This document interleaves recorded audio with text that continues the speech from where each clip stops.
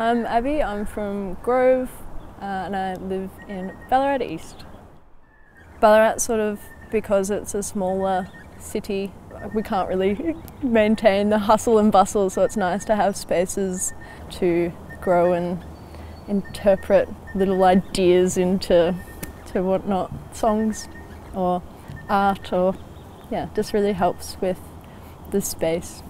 We're about to hear All in Due Time, which we recorded out in out today at Kirk's Reservoir.